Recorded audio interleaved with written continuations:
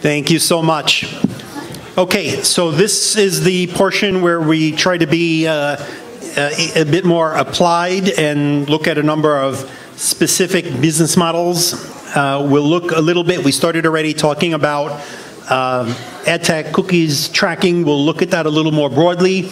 Obviously, the differences in mobile and uh, IoT. Uh, and we'll look at also at the uh, connected cars. We have a big project globally on the future of mobility, the system that uh, is necessary for uh, cars and other transportation, which will rely on vehicle to vehicle communication, vehicle to infrastructure communication, much more of a data related ecosystem. So obviously creates lots of uh, interesting uh, issues with GDPR.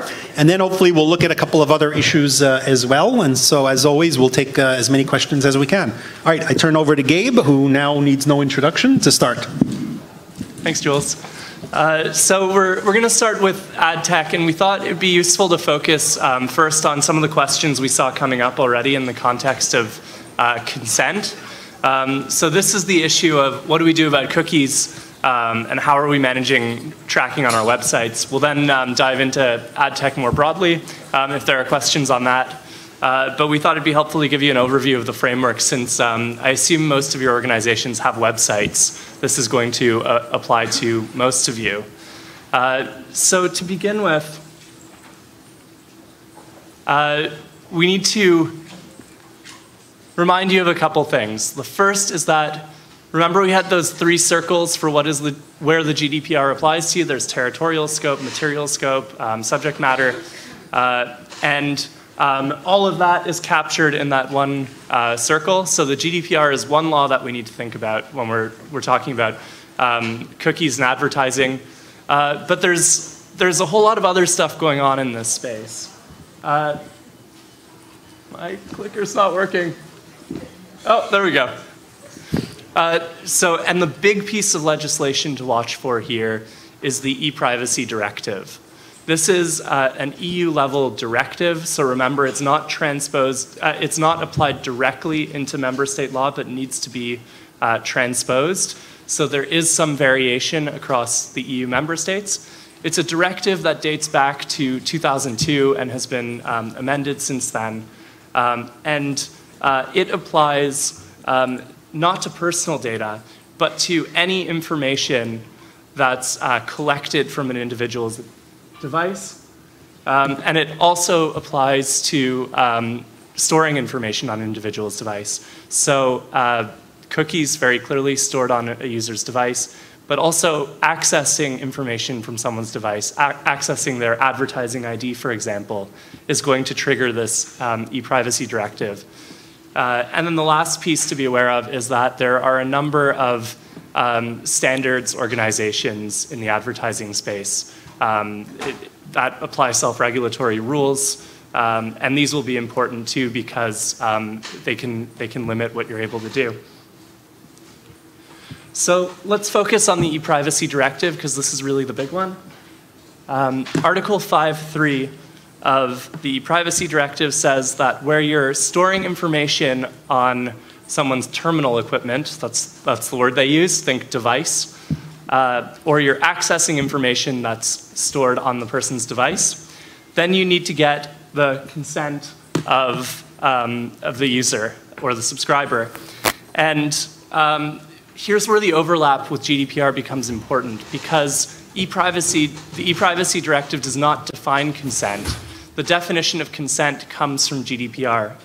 So in essence, we have um, a, a, directive that applies to a broader set of data than GDPR. We don't care whether it's personal data, we just care whether it's been taken from someone's device, but we apply the GDPR concept of consent to that. Um, and that, that starts to create a number of problems. Um, or a number of challenges. So we'd, we'd heard in Gabriela and Carolina's session about the different legal bases you can use for processing, and consent was just one of them. They explained that there's no preference for consent over any others um, when you're doing ordinary processing. But when we're in this e-privacy directive space, when we're collecting information from a user's device, we have to get consent for that. So what are some of the issues? Um, I've taken some quotes from the, the Working Party language, which highlight the nature of, of the issue when, um, when we're dealing with cookies specifically. Um, so the first is this question of what's unambiguous affirmative consent. Um, the, the Working Party guidance, said, the EDPB guidance says that merely continuing the ordinary use of a website um, should not be an indication of consent. Um, and I know we've, we've touched on that before, but we'll, we'll get to the consequences of that in a minute. The second I want to highlight is that um, any party that relies on consent needs to get certain minimum information uh, to the individual. And uh, a key piece of minimum information you need to get to the individual is who you are. So you can't get freely given specific informed consent if the data subject has no idea who's collecting their data. Um, so when you have a website, uh, then clearly you're identified. But think about all those other um, players in the advertising ecosystem who are also uh, collecting device level data. Um, each of them are going to have to rely on consent, and um, this minimum set of information needs to be provided, and, and that creates a, a huge problem, or a huge challenge, I should say. The third is the specificity of consent. Uh, so, yeah, we have a question.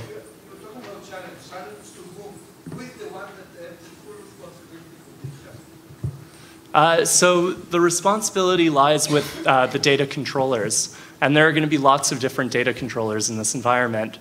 Uh, so if you're the uh, owner of the website, then you have responsibilities to get meaningful consent for anything that's under your control. Uh, but if you are using um, advertising agencies that are acting as controllers, they also have responsibility for what they're doing. Uh, but clearly, there's only one website where we can get this information in front of individuals. So um, it has to be worked out between the parties. There needs to be um, agreements that, that um, allows each party to meet their own independent obligations. So consent needs to be granular and specific. This means that it needs to be uh, a separate consent for different processing purposes.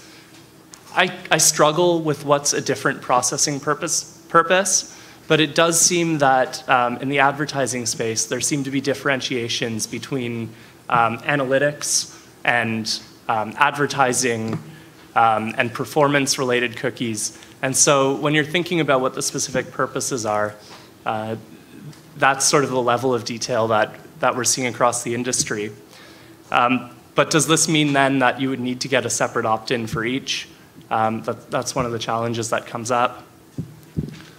And the last challenge I want to point out, uh, because um, we see this issue a lot, is uh, that it has to be as easy to withdraw consent as it was to give it. Now, historically, if uh, any of you have ever um, actually read through these cookie policies, and we know most people don't, uh, but historically, the way that people have been given a right to withdraw their consent has been through their browser settings. But clearly, continuing to use a website or clicking I accept is uh, a lot easier um, than going to configure my browser so that it stops setting the cookies. Um, so, so that's another driver, key driver of changes. So what's the consequence of this? Well, the first thing is that we need this unambiguous affirmative consent, which means you cannot be setting cookies before you place the browser, uh, before you, um, the individual has taken that unambiguous affirmative action. Um, and this is where um, there's a change from current practice. On a lot of websites you visit right now, the banner pops up and immediately you see 30 cookies are set at the same time before anyone's taken any, um, any action. Um, the GDPR is quite clear that that's not going to work because you need to have taken, taken some, some action to signal the consent. Where it's not clear is whether, um, to what extent continuing to use the website can be that affirmative action. Um, so the working party guidance says merely scrolling probably is not an affirmative action. But there's some indication that if, if the individual clicks on a link, that that might, might be enough of a signal. Um, if you're clear in the banner that clicking on links within the website will, will allow the cookies to drop. And uh, Jules was talking about the CNIL website earlier. This is the French regulator's website. That seems to be the approach they've taken. When you first visit their, uh, their website, they have just one really benign tracking cookie. Uh, but if you click on other links, then suddenly um, a handful of other cookies pop up. Um, some of them are social media cookies. So, so they, they seem to be taking the view that clicking links on a website um, is better than scrolling and shows that clear affirmative action. The other approach we've seen uh, organizations take is like the one that's screenshotted here uh, from Bloomberg, um, not a client, full disclaimer. Um, and uh, what, what they've done and what you'll see more and more in the market is these really, really prominent banners. And this is because the uh, EDPB guidance says that the reason scrolling isn't good enough as an, uh, as an affirmative consent is because it's possible that the individual didn't see the banner and therefore wasn't making that decision. So they're taking the view that if you have a really, really prominent banner, then um, continuing to use the website would be consent because, well, how could you use the website without engaging with that banner? The other consequence of what we discussed is uh, that third parties that are acting as controllers likely will need to be named. So these are your um, advertising exchanges um, and, and other organizations that um, are collecting data from your website. Um, and so if you look in this example, when you click in um, more information, you actually get a, a, list of all the different parties that are, um, that are setting cookies on the website. Um, so this isn't necessarily to meet the website owner's requirements, but um, as part of getting consent for all the other parties involved in the ad tech space, it really is the only option uh, for, for them to get the consent they need. And then last, we talked about um, the right to withdraw consent and how easy that needs to be. So browser settings don't work.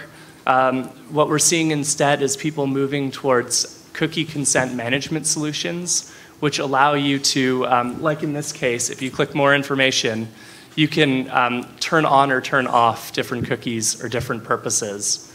Um, and that gives you um, the granular choices you need to meet your requirements, but also makes it um, easy to withdraw consent um, in a way that doesn't point people to their browser settings. So that's the e-privacy directive, um, unfortunately, there's a bit of uncertainty because we have some new law on the way. Uh, there's been a proposal for an e-privacy regulation, um, which would also harmonize the rules across the EU, um, and hopefully will make life uh, simpler because you won't have to look to member state requirements. Um, and it's worth noting that there are um, a lot of changes from the privacy regulation that affect um, organizations that, um, like connected cars, that are um, collecting and exchanging device data. But for ad tech, a lot of these changes are driven just by the nature of what consent means under GDPR. And so um, some of these changes won't be as significant, but some points to look out for are right now, you need consent for any cookies that are not strictly necessary for the, for the purpose uh, of providing the service. Um, so for example, basic analytics isn't strictly necessary to provide a website. And so under current law, you do need consent. Uh, one thing we're looking at in the privacy regulation is the possibility for an exemption for first-party analytics, which would mean you don't need to get consent for that. Um, there could be new rules that change um, the definition of consent even more broadly, uh, that um, impose, um, for example, browser level controls that would allow you to select um, from consent either in or out uh, across all websites rather than having to engage with a banner on each website. Um, and um, there's been the suggestion of a possibility to rely on legitimate interests, which would help deal with some of the data sharing that happens um, on the back end um, after, after the data has been collected.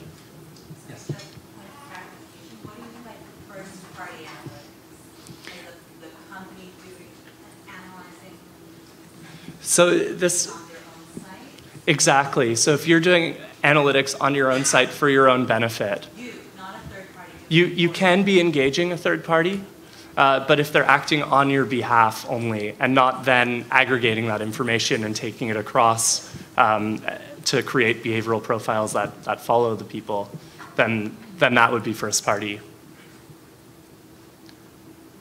It, Yeah, I mean, the, the terms in the advertising and marketing world, right, we have to be careful when we say first party, third party, right? I think what we're uh, suggesting is that not sharing data, right? Always, it's, it's always easier to use data, and then once one's sharing it with unrelated third parties, clearly that's a high, significant, you know, out of context secondary use.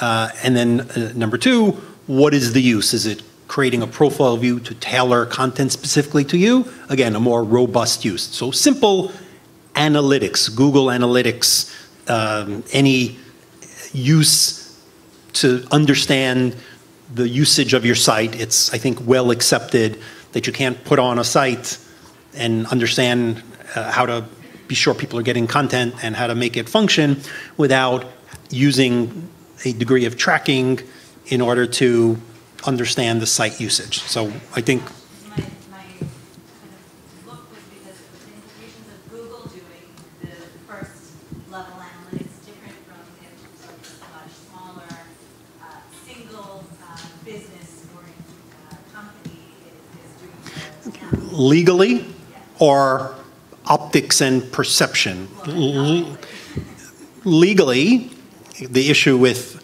a big player might be who's defining all the specific uses, right? Uh, Are they truly acting solely as a processor? So Google has very recently provided more specificity because they maintain that for Google Analytics, they are a processor and aren't using the data beyond the defined uses. So from a legal point of view, um, the notion that a processor who's fully under your control shouldn't be treated and shouldn't be considered any differently from you doing the activity yourself. Now, yes, obviously there's optics, and do we have the transparency, and do we trust it, and so on and so forth. But I'd suggest there are lots of very big platforms and internet infrastructure where we don't even ask that question because we, we you know, we have a sort of a history. Obviously, the analytics companies and ad tech gets complicated because the same companies that are doing analytics are doing advertising and doing third-party advertising. So maybe the good thing for you know ad tech is that a lot of the obscurity where you couldn't even tell if you were doing business with various parties what the full range of their activities were that has been exposed because you, you can't conceivably be getting consent or treating them as a processor. So you have seen, if you've watched, all of the third-party ad tech, at least the big players who you know are spending a lot of time and energy and are under the uh, eye of regulators, for the first time, sometimes being much more detailed, much more specific, um, and laying out the parameters because otherwise nobody was comfortable that they would actually be a, uh, a processor. So that's been maybe some overdue, you know, uh, uh, challenges that haven't been previously um, as spelled out. Uh, at least GDPR sort of shines the light for the first time uh, uh, on that. Has anybody, let me just also ask, has anybody gone through the process here of the IAB EU consent and transparency solution? Because, no? Yeah, some, I see some, some yeses. Um, Do we, do we have that in here, or should we talk about it a little bit? uh, Right? So as this process came along, obviously much of the third-party ad tech world looked at it and said, okay, I have a big problem because I'm a controller to some degree. Certainly all of the companies that do take data and use it for advertising and marketing across uh, uh, various sites. And I need some way to get publishers or advertisers, right? Because sometimes they're collecting and retargeting and the like. I need some way to get permission. Um, and uh, by the way, there's hundreds of us uh, who are typically doing business, third-party exchanges, data exchanges. Uh, we need some cooperation, and of course, it's always hard to get cooperation uh, in this sector given the, the challenges. Um, the effort that probably got the most scale is uh, an effort that was put together the, by the IAB uh, Europe, uh, and they created a system where third parties can declare the different purposes that they uh, do with data, um, register themselves that this is what they do, fit into a framework so that uh, if I'm a publisher uh, and I want to use third-party ad tech, I can pop a banner, uh, a, a, window, I guess you probably shouldn't even call it a banner, um, that allows the display of some number of the third parties, or at least a place to easily click and see all of the possible third parties that the publisher is approving as feasible to appear on their site. So in the past, you didn't necessarily even know who the third parties were. You were relying on your agency or some other third party who was handing data off to many other third parties. In theory now, you can approve from the companies that are on the list these are the 12, the 15, the 18 that I understand that I'm approving uh, to appear on my site. I'm now able to pull them into this UI as well as the list of the different purposes that they provide and options to opt in or opt out to each of those. Now, what the IAB doesn't want to do is mandate, given this disparity on can you scroll and click and to accept? Do I have to expressly click and accept? Um, exactly how to implement it. So they leave that a bit to the uh, the publishers, and you're seeing some people, you know, live with the accept by clicking on anything on the site. Um, Will the regulators accept this or not? Um, uh, they're looking at it. Um, there's not many other solutions that are out in, in the market, so I imagine maybe they'll give them some feedback. Um, you know, again, in my discussions with some of the regulators uh, about it, um, the they, they seemed generally comfortable with the notion of agreeing. They seemed a little bit uncomfortable with the notion of, wait, there's 100 companies that you have agreed to. How, how do you show 100 companies? Google getting that same feedback that, that I did, uh, as well as some of the other uh, companies, um, initially was going to develop its own consent manager and only show 12. And they said nobody can do business with more than 12 because you can't really show more than 12. Once you have 100, you, you have to click to pages and it becomes you know, not feasible. They got a lot of pushback from other publishers, why are you telling me I can only do business with 12? Uh, it's my business to decide. It's not your business, right? So they said, yeah, but that's what the regulators are telling us, that there's no easy way to consent. So it went back and forth. And Google now is integrating with the IAB solution so that people don't have to go. The, the concern was I'll either use Google's sort of framework or the IABs and then both. And and then it becomes a bit of a, a complication because people want to use the Google services, but they also maybe want to use some other third-party ad tech. So Google is now integrating with the IAB one. So it seems to be the main course of action. So there's some safety in kind of you know going with the industry solution, and presumably the regulators, if they push or poke, maybe it'll happen at a holistic uh, level, right? The the risk for a lot of people here isn't uh, you know choosing to go with the standard. It's not knowing exactly where the line will be, either being too conservative and telling your company, we can't do this, we can't do this, and then all your competitors do it, and like, what kind of advice did you give? Or, or you know, the reverse, um, you know, taking a liberal position and everybody else has, has settled. So to the extent that we, we, the community, uh, are able to establish some norms, some standards, some practices where, you know, you can have some comfort that the interpretation is not yours and then you're the subject of you know the criticism, uh, but that it's more of a back and forth. Uh, and the regulators are very much open to that. Yeah.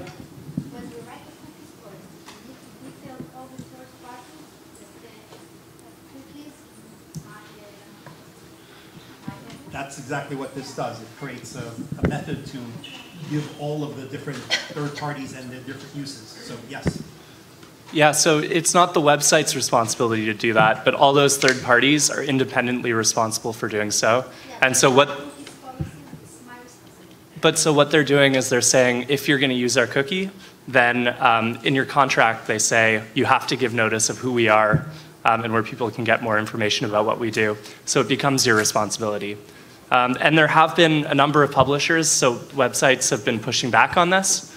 Um, but it, in practice, it's the only way for all these players to get the consent they need. So there's not, not a ton of traction there. Don, Don disagrees.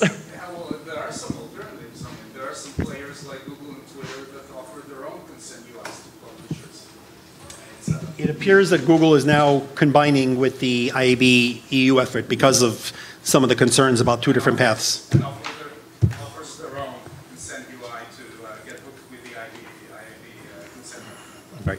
And then let's talk mobile for a second. This is primarily a cookie-based mechanism, but as you heard Gabe explain, that there's nothing that's cookie unique. Uh, The, the uh, law covers tracking, and so the mobile ad identifiers of, uh, of apps are, are certainly uh, to be captured here. And there are a few companies that um, uh, are working with SDKs that seek to make it easy to invoke other third parties, but it's a little bit less robust, a little bit less uh, mature. Uh, obviously, you, it's hard to have multiple SDKs with competing sort of consent mechanisms, so that's evolving and people are catching up. I think the regulators understand that the web-based cookie thing is probably the, the forefront, um, uh, but very quickly you're seeing some of the mobile companies, a couple of uh, uh, Israeli mobile sort of app players who, for, for whom this was very important because they're, you know, providing analytic services, they're providing ad tech that sort of built versions uh, of this. Uh, so I urge you to take a look at them if you're doing anything with a, uh, a mobile app that is captured by this. Yeah, we have a question? provide some color on the implementation and field of learning. What happens if I don't have a website, I'm only communicating by emails, and I have my, there's a small link at the bottom of the email, my privacy policy is here, and uh, how do you implement the consent on these cases? So it, it's a good question and a related point um, because um, electronic direct marketing is also governed by this e-privacy directive. Um, and so what that means is, as a directive, there, there are variations in member state law. Um, so you will have to look jurisdiction by jurisdiction. Um, if you need to get consent, then you need to think about how you're getting consent. Sending um, a message that has an unsubscribe at the bottom is not consent. Uh, but you don't always need consent. So um, there's what's called the soft opt-in exemption, um, where you have an existing business relationship, where you've obtained an individual's contact details in the context of a sale of a product or service, and you gave them the chance to opt out at the time when you collected their details, and the marketing is sent by the same legal entity that collected their details and relates, the marketing relates to similar products or services then you can send it. Without consent, you have that, that soft opt-in exemption. And some member states allow for marketing to businesses um, without consent, but that really varies. Um, And I just want to remind people, obviously, we'll talk, uh, maybe Limor or Dan will talk about the, uh, the Israeli, you know, email uh, spam uh, laws as well as uh, the other issues. Um, But if you're doing open rate tracking, you're setting a cookie or firing a pixel, um, making sure you're giving a disclosure and a choice if appropriate for that, uh, really critical to do. So I would hesitate if I didn't have a, a, a- site that at least gave somebody some information when I registered an email that indicated that I was going to track uh, open rates and so forth, to do so simply because you gave me an email and I send you and boom, you know, I set the cookie and I track you without uh, uh, anything before that. So certainly you want to pay attention to that. But applying a button, consent, do you consent in the email, this is something that usually you don't see. There is a way to, you know, not, not to use the consent, specific, the specific consent in the email. Right. I mean, typically, the most we'll see in an email is a link saying, a, a disclosure, perhaps saying, "Hey, this email, you know, tracks open rate, and link here to see more details and to make some choices." Right. It's usually too late. You opened it up already. I did the tracking, so I either spammed you already or I tracked you already. So you're you're not gaining anything by a, a consent in the email.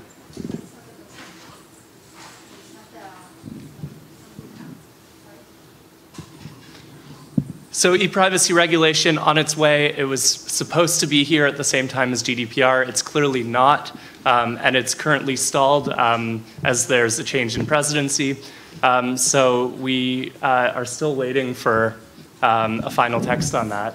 Yeah, just um, to give you a, a- bit of more details there. Uh, so the proposal uh, of the commission was published at the beginning of uh, 2017. Uh, it, with the intention to have it already adopted by, by all EU institutions and also applicable the same day with the GDPR. Obviously, that did not happen. Um, right now, we have uh, the report adopted by the European Parliament, so the mandate of the European Parliament to negotiate uh, these um, provisions. Uh, we have an intermediary text that it's still being worked on in the, uh, in the European Council. Um, and we are at this point waiting for the Council to adopt its mandate, to adopt its version of the text. Uh, and then uh, after this will happen, and this is the process that got uh, uh very long uh, also this time. So after the Council adopts it, adopts it uh, the European Commission the European Parliament with its uh, mandate and the Council will meet in something that's informally called a trilogue and then they will negotiate once more on the text. As things are right now, uh, there have been public uh, opinions expressed publicly last week uh, by uh, former MEP Jan Albrecht saying that it's very likely we will not have the e-privacy regulation adopted uh, before the European, the new ele elections for the European Parliament, which are supposed to take place next year, end of spring, probably. I don't know exactly the date. Yeah, so I think we have more time to breathe uh, on this, uh, at least uh, digest first the GDPR before laying this additional level of activity. Uh, just a couple of quick points to make, however. It does appear that it's going to happen at some point, whether it's a year, year and a half, whatever the process will be.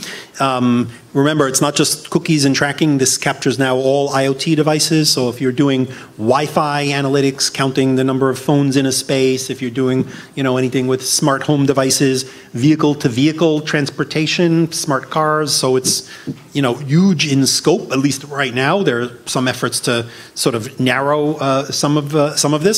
Um, uh, the second uh, point is that the Belgian presidency is, is, you know, finished. They were making this a bit of a priority, but the Bulgarian presidency. Bulgarian. Yeah, sorry. six months. Um, the Austrian presidency. The new presidency is the Austrian presidency.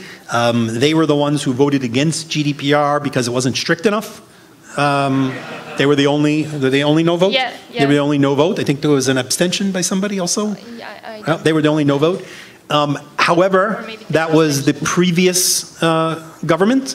Uh, the new government, um, you know, is more of a, a right-wing government, obviously, um, and it seems their very big priority is migration issues. And so, where exactly this will be in their sort of agenda of, you know, driving issues through, we, we don't know. Presumably, it's it's been a priority for, you know, the the uh, various European actors, so it'll be on the agenda, but whether it's item number one or item number five, um, there's a change in politics. Um. Okay. All right, a last quick point on um, ad tech before we move on to connected cars, and that's just that um, remember the right to be forgotten? Well, Article 19 extends the right to be forgotten to any third party that's received the data as well. You have an obligation to inform all those third parties. So think about that list of um, dozens or potentially more um, organizations that are um, collecting data on your website. If someone makes a right to be forgotten request, then you'd have to inform all of them. Again, that's the value, for better or worse, of some of these industry solutions.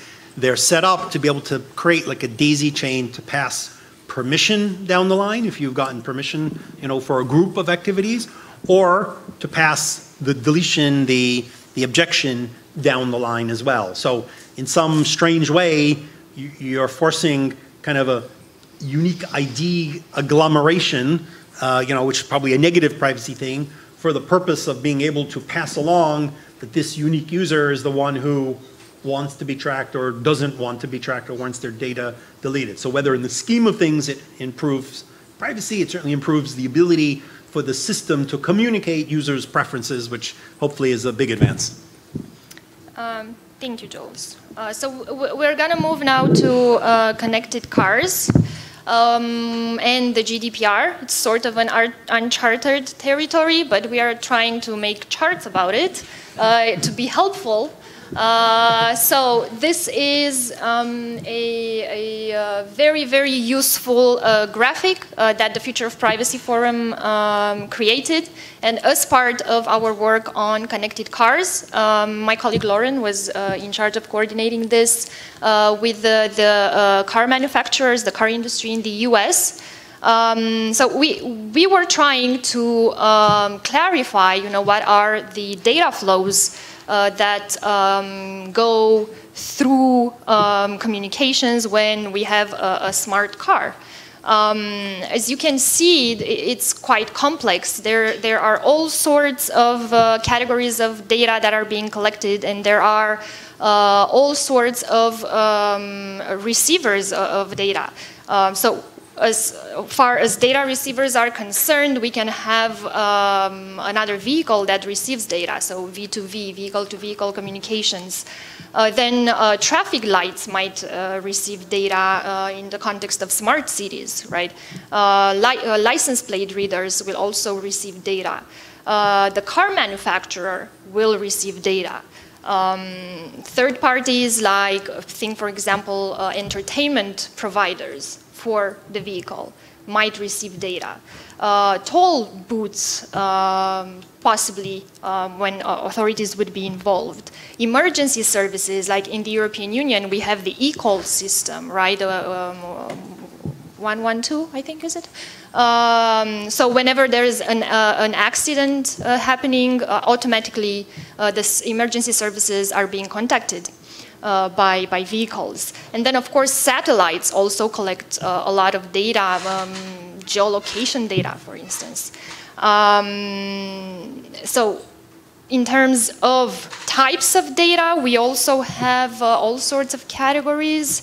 Um, location data, as I mentioned, infotainment uh, data, uh, data about the behavior of the driver, uh, behavior and uh, also biometrics data um, data about the vehicle's health. That's also data that uh, ultimately may be categorized personal um, if you know, we will be able to pinpoint uh, the data subject. So the environment is incredibly complex, and there are so many actors involved um, that it's, it's going to be difficult to talk a lot about solutions right now as we're starting to think about these issues. Uh, but um, we can at least think about what are the key challenges. As I mentioned, uh, a key challenge is that complexity, that entire complexity of the data flows and all the actors involved.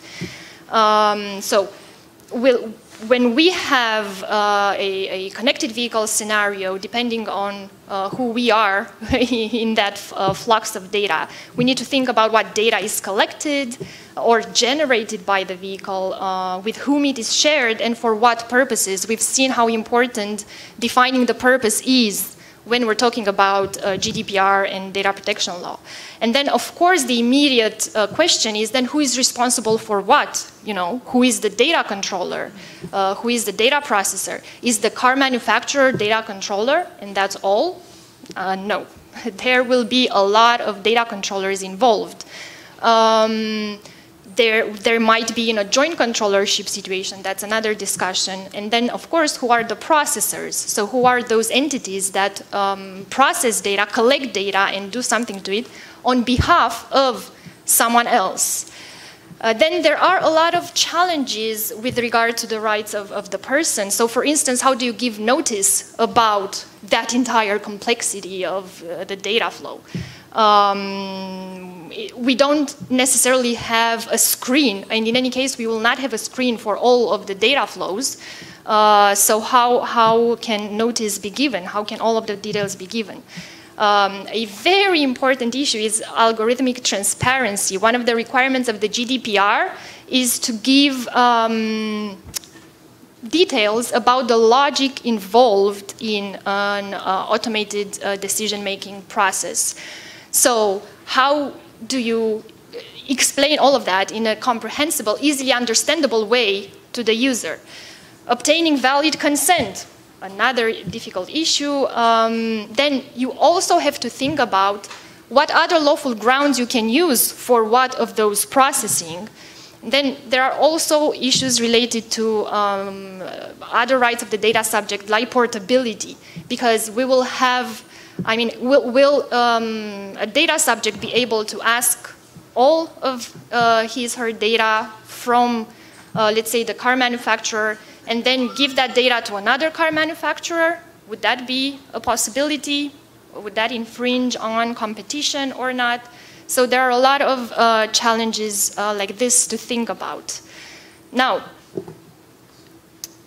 um, one of the points that will uh, be absolutely necessary to solve those challenges uh, will be data protection by design. We didn't get to talk a lot about it or almost at all about it earlier, but this is certainly one scenario where data protection by design is vital. Because if we don't think about all of these challenges when we are creating technology for uh, connected cars or when we are creating connected cars um, as such, uh, it will be impossible to comply with data protection legislation. So, for instance, when we're thinking about how do we give notice, perhaps, you know, the smart assistant from the car, uh, when you click a button, uh, will give a voice notice about uh, some details. Can I ask you, Gabriela, to take a little detour just because you did mention the data protection by design, which we didn't discuss, and I think we'd be remi- remiss. I know one of the challenges that people have sometimes is say, oh, look, I'm following all of the elements of the GDPR, but now on top of all of the requirements, I have a data protection by design requirement. What does that mean? Do I now have to add another, what, what are the specific requirements uh, everywhere possible that I can give more privacy? I've got to give more privacy. Does that defeat some of the permissions that I just had? So you've done some useful Yeah. work. What, what can you share uh, from what we understand today is the obligation on top of the other uh, regulations? Yeah, uh, thank you for that. It's uh, so data protection by design. It's a legal obligation on its own right now. Until now, in this um, world of ours, of the, privacy world, we've been talking about privacy by design, which was more of a policy goal, something that you know it would be nice to have. Wonderful. Well, now the GDPR creates an additional obligation. It's in Article 25, data protection by design and by default, and this has uh, a lot of complexity to it because one can uh, ask, and I know uh, I was asked by uh, Jules and Omer uh, about this. So, what would you need to do to breach only that obligation and not any other of the obligations from uh, the GDPR? Um, and before replying to that, just to mention that the data protection by design obligation practically asks the controller, which is uh, one of the shortcomings of this uh, article, but so as the controller, not the processor, so as the controller to think about all the data protection sa- safeguards from the design stage of a processing activity of a new, new product and so on, and then also through the life cycle of that uh, project.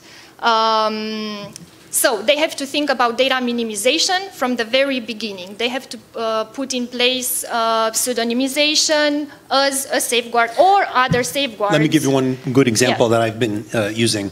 Um, very often you download an app and the app says, Can I access your contacts? Because I want to see who else of your friends is using this app so you can communicate with them or and so forth, right? Very nice, very friendly. It's, it's essential to do that. So you could do what many apps do, which is upload then your entire contacts, right? In order to match it against which users they have registered. Right? You gave permission, access the contacts. Or what has become better practice, but I would say now is obligated because of the privacy by design uh, requirement, is you could upload their context only in a hashed format and match it against the hashed version of your um, uh, your information, and then only in the places where you have a match do you then uh, go ahead and, and access the information and, and say, do you want to connect? And you don't ever hold and keep the full contacts that uh, I gave you access to, right? I would argue, since that is feasible, it's not a unique thing. It's already a good practice to, to do this. Um, Apple pushes it and so forth. I would argue this is a place where a regulator would already take action against you uh, about what is, you know, a, a failure of privacy by design when there is a clearly known, friendlier, feasible, technical way to do so, and you do the easy one, which creates greater risk.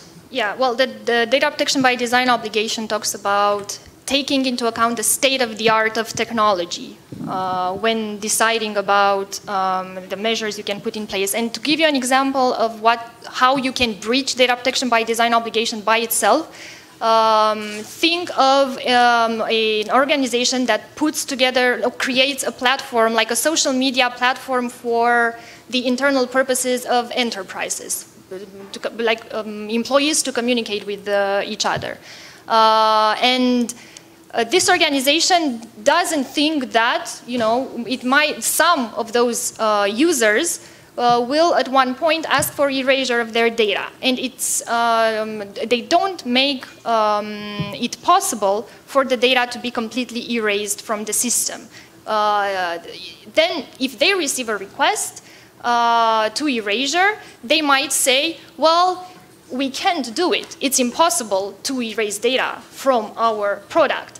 In that case, it will not only be a breach of uh, uh, the right to erasure uh, related obligations, but also a breach of the data protection by design obligation, which will aggravate it. Because uh, exactly because of this obligation in Article 25, they would have to think about implementing the rights from the design stage. So it will not, there will be no excuse saying that I'm sorry, technically it's impossible to comply with your uh, uh, right.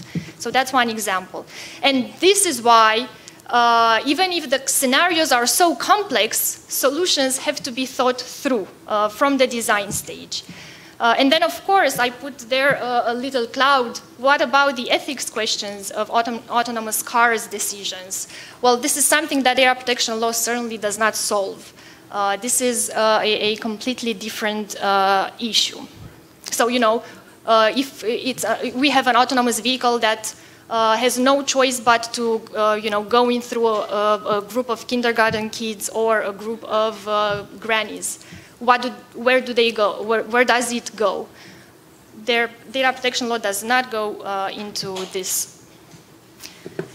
Now, uh, so some of the challenges, you know, we can tackle them thinking about all of these things from the very beginning, but certainly most of the challenges will uh, need to be solved by guidance. There is a, a, a lack of guidance and actual cases, enforcement cases in this space. However, we do have some uh, official guidance here, and the CNIL, the French Data Protection Authority, uh, published guidance last year. Um, and they also recently translated it into English, so it, it would be available uh, to, to all of us here.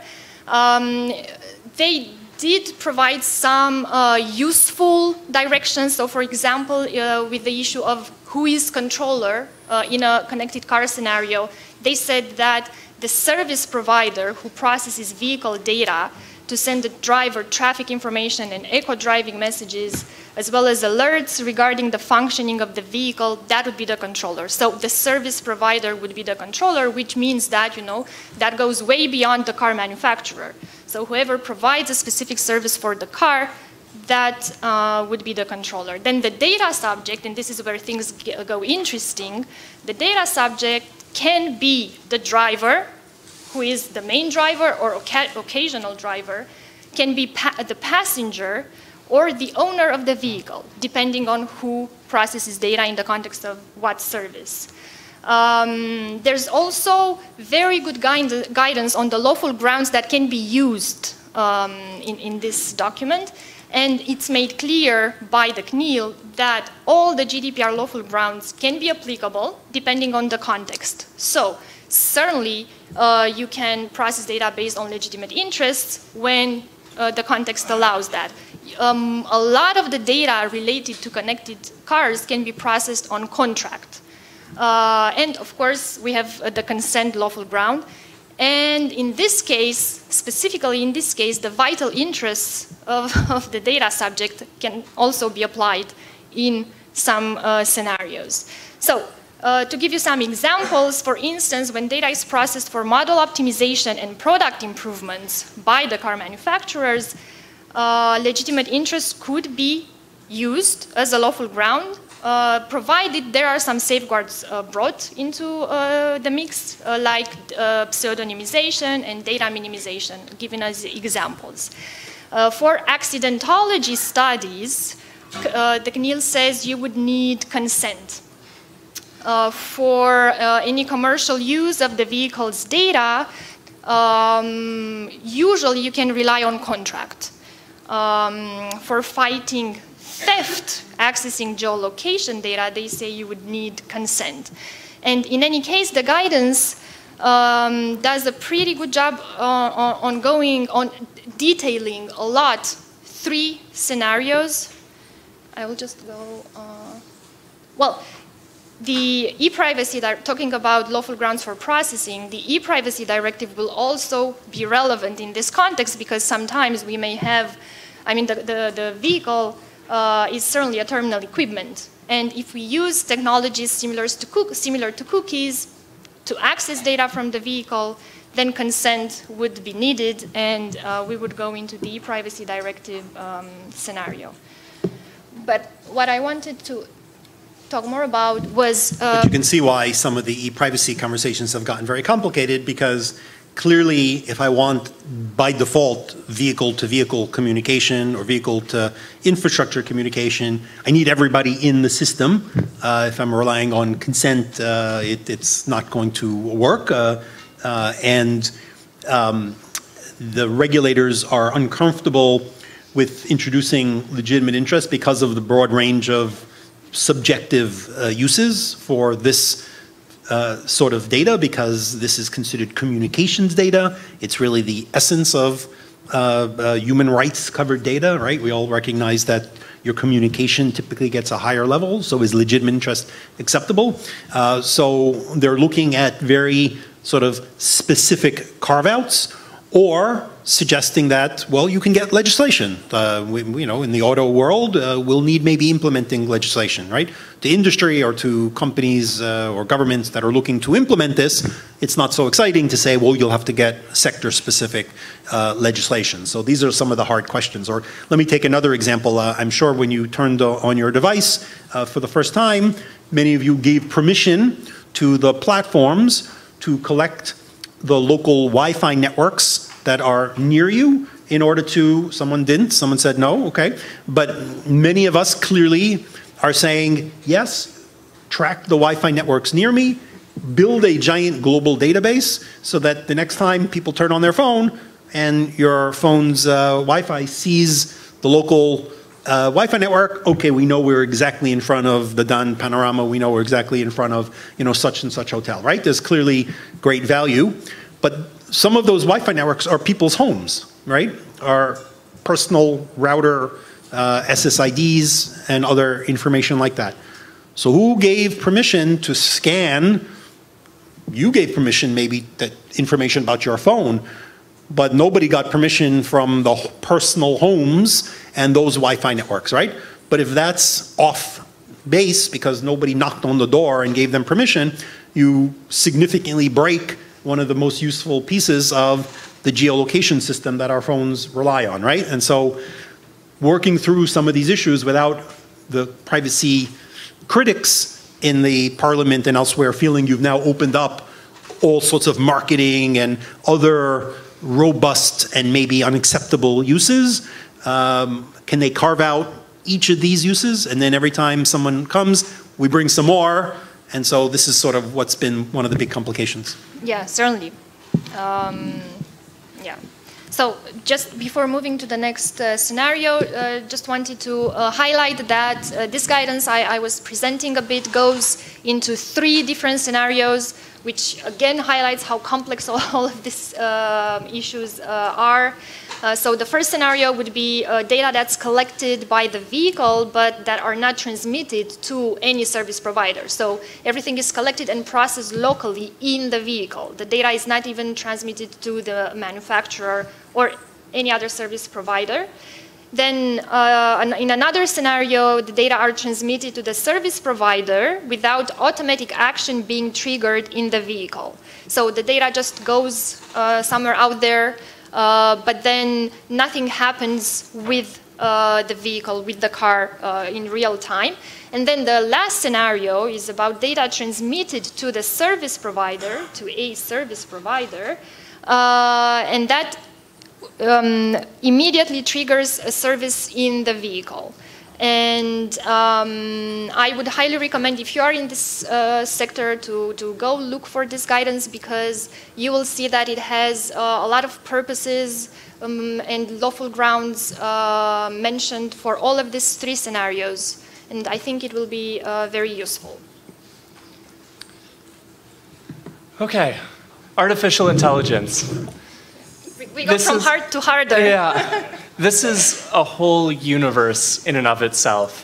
Um, artificial intelligence, as you know, has many, many applications. Um, some of them, you know, come to mind immediately. We were just talking about connected cars. Um, autonomous driving is clearly one of the examples people think about first when they- think about artificial intelligence. Um, but it's worth remembering that this is um, AI tools can be applied um, in virtually any context.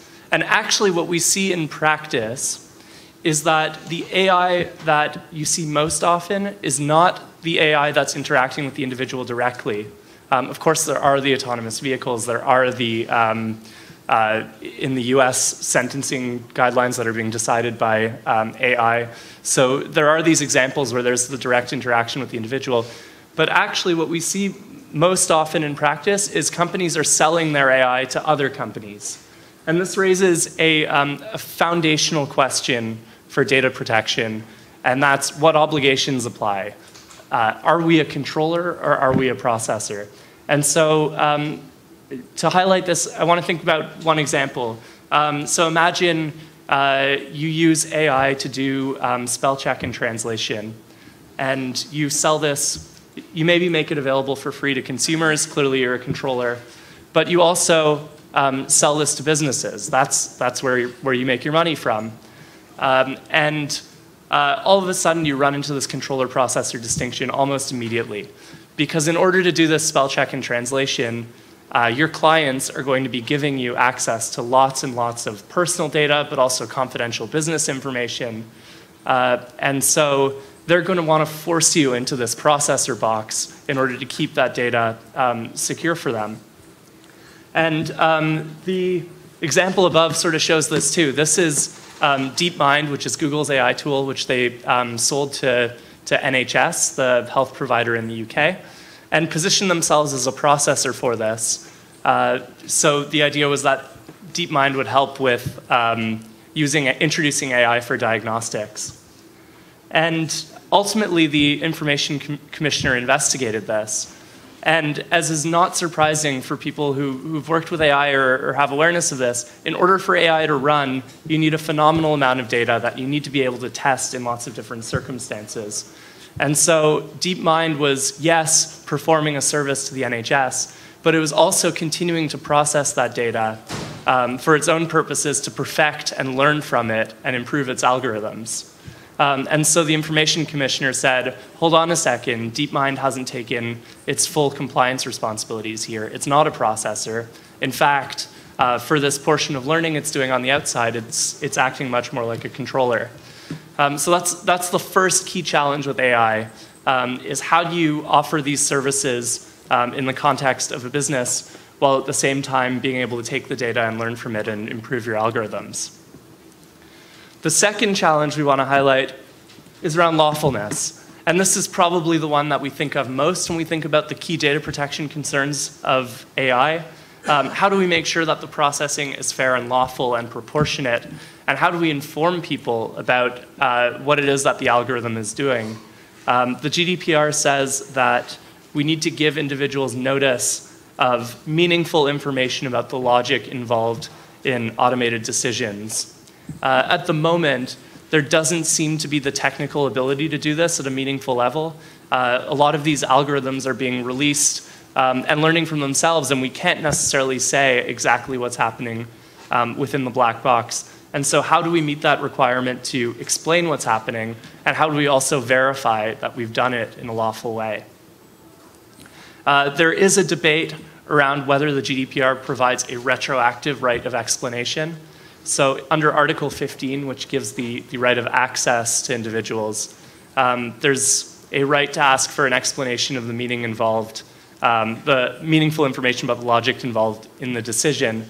So, this is the same language that um, is used in the notice requirement, but there's an argument that because this also applies in the access context, uh, that meaningful information would have to be specific to what the individual is requesting. So, can we give that data subject, that person, an explanation as to why the, um, the, the algorithm came out with the decision it did um, for that specific individual? And there's a, a, tremendous amount of debate right now as to whether that right applies and, and how meaningful the explanation has to be.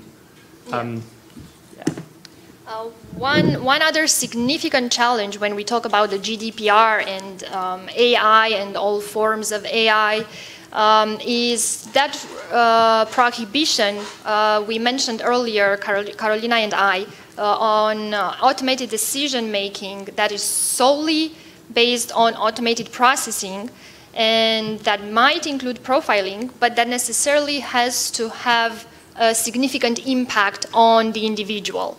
Uh, it will likely be the case that a lot of the AI applications will be in this category. With, more than likely, there will not be, um, uh, you know, a human uh, involved uh, in at least part of the processing uh, that takes place within uh, the AI application. Um, and then the question would be, uh, in order to look at this prohibition, the question would be what are the types of effects that are um, that will be um, the individuals will be subjected to.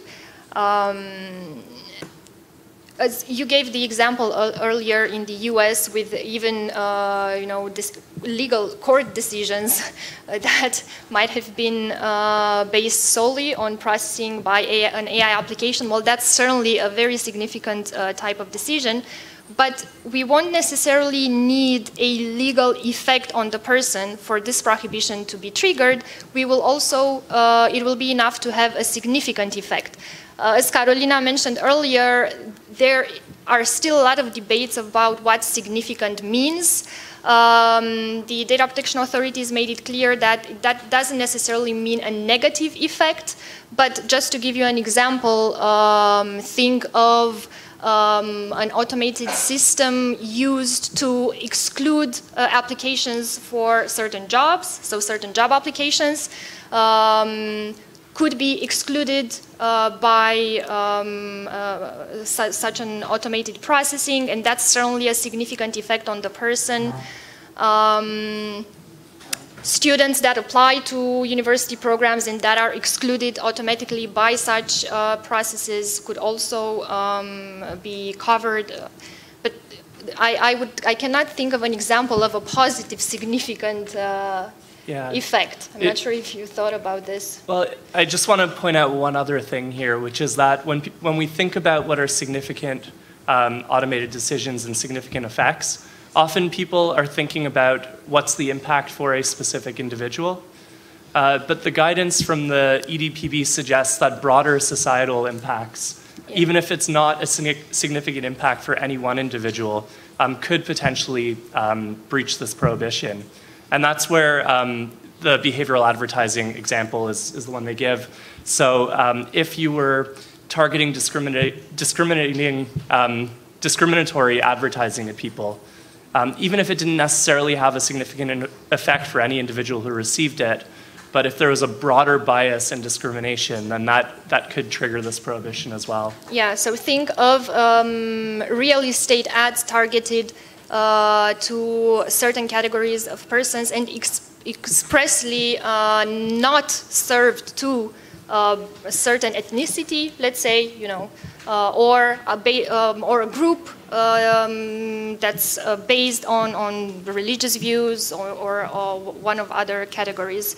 Um, so th- that, that's one of the examples. So what does this prohibition say? It is a prohibition, but you can still engage in such automated decision making if it is necessary to enter into or for the performance of a contract between the controller and the data subject uh, them, uh, itself, herself, sorry, herself, himself, or the data subject explicitly consents to this processing, or it's authorized by a law of one of the member states or by EU law. Um, so if one of these three conditions are met, this type of decision making can uh, happen. Uh, however, it would be very um, quite well quite difficult again to, uh, for instance, to obtain explicit consent because it would be difficult to inform the data subjects uh, about what's going on in an AI application. So this again goes to some of the challenges. So, so what do you need to do? What, there's this other piece that you need to look at. Um, are you using appropriate mathematical and statistical procedures to prevent discrimination and bias? Um, unfortunately, this is all the regulation says about this. Um, and um, there are lots and lots of pages written about how you go about pre preventing discrimination and bias in algorithmic decision making. Uh, but the point to know practically is that you should use um, best practices here and state of the art. And you really need to test to make sure that there isn't um, bias and discrimination. So to wrap this, because we have to move to Israel, um, uh, good reading. The Norwegian Data Protection uh, Authority did a very, very, they're a very technically oriented uh, bunch, and even though they don't sit as part of the Article 29 EDPB, they're respected for their tech chops for sure. Um, they did a very good, A, if any of you are not deep in the weeds on machine learning, or you want to know enough just to know what you need to know for privacy compliance, they've done a very good sort of explainer. Uh, DataSil, I think they're called, DataSil, the Norwegian Data Authority. Uh, and then something like that. Uh, well, and- Norwegian DPA. And they've also then assessed where are the issues where there's particular challenges around limiting purposes, about whether it's research and so on and so forth. Anyway, um, Gabriela, Gabe, thank you for tremendous, tremendous uh, effort. Thank you.